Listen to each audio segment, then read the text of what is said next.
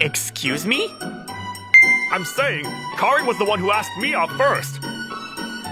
You really don't need to take it that far. This is so lame, it's embarrassing. Who do you think you are calling me lame? You're not making any sense. Oh, is that so? In that case, don't come near Karin ever again. In this way, I somehow managed to succeed in protecting Karin.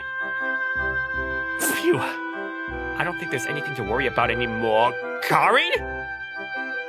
Uh, Why are you crying? because, because, because. That was like super touching.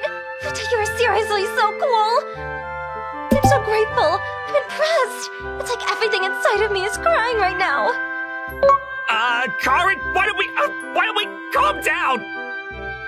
I thought I was overstepping my boundaries, but instead, she was super grateful.